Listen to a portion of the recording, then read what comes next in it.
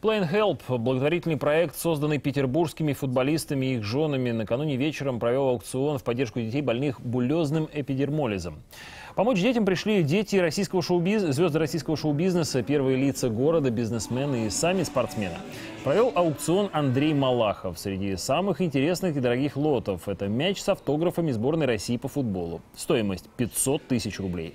Пуанты балерины Дианы Вишневой за полтора миллиона и даже индивидуальная тренировка с Виллышем Бошем за полмиллиона рублей.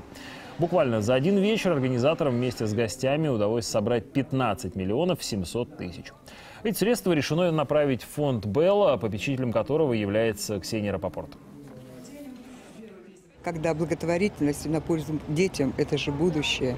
Особенно, когда они чем-то страдают. Хотелось бы, чтобы такое вот не случалось. Дети, а тем более вот больные дети, это, это, конечно, трагедия. Это трагедия для семьи, это трагедия для родителей. И если эти деньги им помогут, то что об этом говорить?